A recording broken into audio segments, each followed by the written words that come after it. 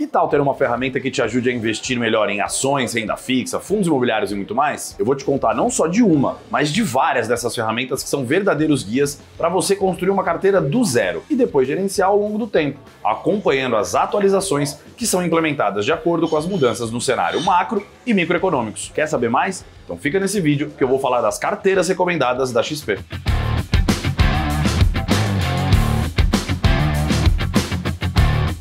As carteiras recomendadas da XP são ferramentas produzidas com as melhores recomendações do time de research para que qualquer um possa começar a construir uma carteira do zero, seja pessoa física ou jurídica. Funciona tanto para que você tenha as melhores ideias na hora de construir uma carteira generalista, ou seja, que contenha todas as classes de ativos, quanto para carteiras focadas em classes de ativos específicas, como renda fixa, multimercados, ações, fundos imobiliários, investimentos alternativos ou até mesmo para você que busca implementar de forma mais eficiente a temática ESG no seu portfólio. Mas antes de falarmos mais sobre como utilizá-las, que tal começarmos sabendo onde encontrá-las? As carteiras recomendadas são publicadas mensalmente na página de conteúdos da XP, na seção Recomendações do menu principal. O primeiro item dessa seção é exatamente o das carteiras recomendadas, sendo elas carteiras por perfil, carteiras para empresas, carteiras de ações fundamentalista, carteiras de análise técnica, carteiras de renda fixa, carteiras internacionais de BDR e ETFs e carteira SG. Vale dizer que para ter acesso completo a essas carteiras, você precisa de um login como assessor ou cliente da XP. Ainda não é cliente da XP? Aponta então seu celular para o QR Code na tela e abra sua conta para ter acesso às carteiras recomendadas e uma série de outros conteúdos exclusivos. Voltando às carteiras, agora que você já sabe onde encontrar, vamos explicar o conceito de cada uma e como utilizá-las da melhor forma. A primeira opção que você vai encontrar são as carteiras por perfil para pessoas físicas. Elas são portfólios que sugerem exposição a todas as classes de ativo por nível de risco e horizonte de investimento, a depender da sua política de investimentos. Você pode usá-la como base para saber quanto de renda fixa, multimercados, ações, investimentos internacionais e até alternativos deveria ter, dado o seu perfil de risco. Tanto os percentuais por classe quanto os ativos, fundos e produtos podem ser alterados de um mês para o outro, de acordo com as decisões do time de alocação. Você não precisa ter logo de início exatamente os percentuais que são sugeridos para cada classe de ativo e muito menos todos os produtos que são indicados. A alocação, ou seja, a implementação desses percentuais, pode ir ocorrendo ao longo de algum tempo, de preferência não tão longo, para que você atinja o quanto antes o portfólio ideal para alcançar os seus objetivos de rentabilidade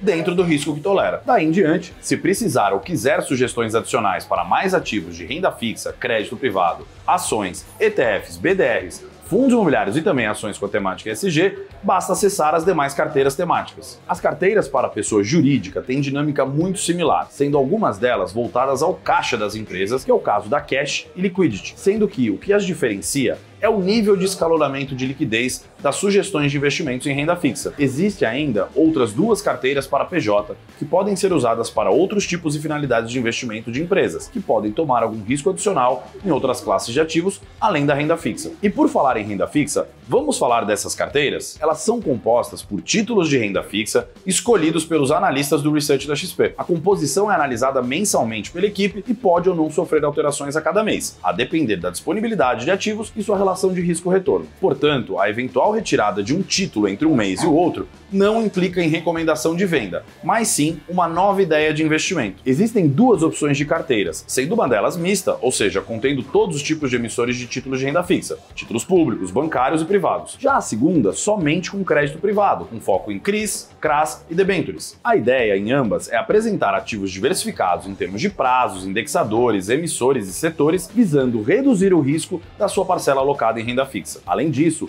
o objetivo é facilitar a busca das melhores ideias de investimentos em títulos de renda fixa que estão disponíveis na plataforma da XP, selecionados pelos nossos analistas. Falando agora em renda variável, são três as carteiras fundamentalistas focadas em ações: Top 10, Top Dividendos e Top Small Caps. A carteira Top 10 Ações é composta por 10 papéis que são as maiores convicções dos nossos analistas do research da XP. A carteira tem como objetivo superar o desempenho do Ibovespa no horizonte de longo prazo. A segunda carteira é a Top Dividendos, que contém papéis de empresas que oferecem perspectiva de distribuição contínua de lucro aos acionistas e qualidade de gestão. Os investimentos em ações com foco em dividendos podem ser interessantes para quem busca uma posição mais defensiva para a carteira ou quer receber um pagamento recorrente investindo em ações em estágio mais maduro. Por fim, a terceira carteira de ações é a Top Small Caps, que se mantém alocada em ações de menor valor de capitalização com alto potencial de crescimento. Assim como nas carteiras de renda fixa, a retirada de algum papel entre um mês e o outro não implica necessariamente recomendação de venda, mas sim uma nova ideia de investimento.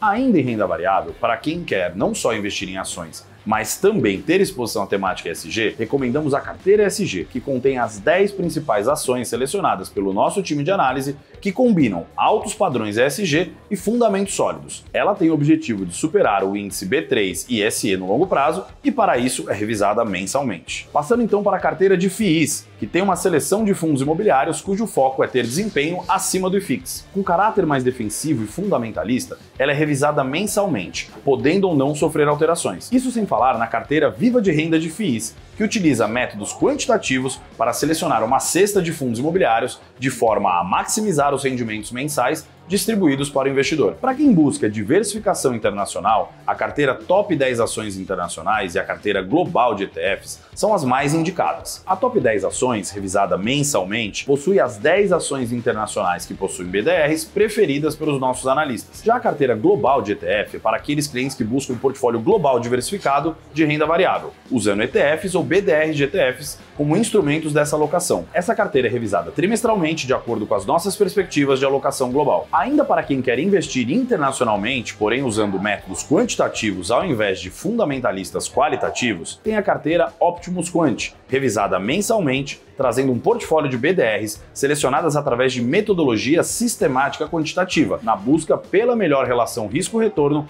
para uma alocação internacional via BDRs. Agora, se você gosta ou quer aprender como operar nos mercados, as carteiras de análise técnica são as mais indicadas para você. São três delas, sendo uma de atualização semanal a Top Pix Arena, que traz cinco ativos na busca por retorno de curto prazo usando apenas análise técnica. Já as demais, que são a carteira Valor e carteira Arena do investidor, também são formuladas com base na análise técnica, de modo a acompanhar o fluxo e as tendências dos papéis. Ela é destinada para quem quer realizar operações nos mercados com base em análise técnica ou até mesmo quer ser um trader, adquirindo conhecimento para fazer até mesmo operações mais complexas. Enfim, são muitas opções de carteiras recomendadas para que não faltem dados e informações na hora de você montar, revisar ou gerir um portfólio de investimentos completo e eficiente. E aí, ficou alguma dúvida? Se sim, deixa aqui nos comentários e também já nos conta quais são as suas carteiras recomendadas prediletas aqui na XP. Ah, e se você acredita que alguém pode se interessar por esse conteúdo, aproveita para encaminhar.